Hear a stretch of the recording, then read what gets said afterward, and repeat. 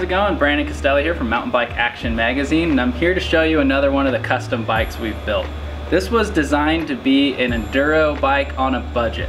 Since then, I've went ahead and made some, some upgrades to make it my own and really and pull some performance out of this machine. What it is sitting in front of you is a Devinci Spartan.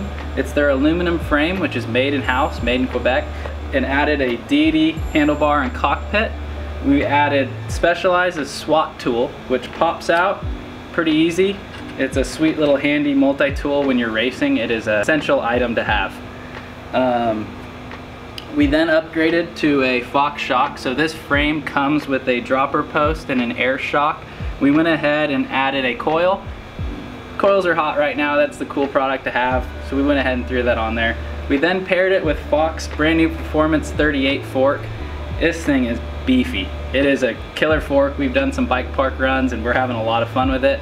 Uh, we have a full review coming up soon, so keep your eyes out for that. We left the Deore, uh, their four piston brakes. Honestly, they have tons of power. I had a Deore group set on here at one point, but what we did was swap it for an XTR to just get a little lighter and pull more performance. You know, it just feels a lot better. It's crisp and it's top of the line.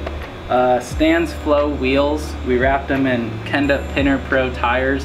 These are an Aaron Gwin uh, design tire. Works great. We've been riding them a bunch in, in uh, Big Bear and some other bike parks and having a lot of fun. WTB saddle with titanium rails, pulling a little color in with a Deity collar.